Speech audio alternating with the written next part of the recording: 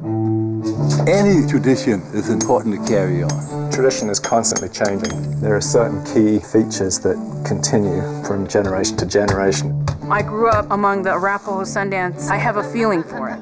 I always felt such a connection that I knew that's what I wanted to do to continue this legacy that goes on. Traditions, tools, and techniques reborn today on Craft in America.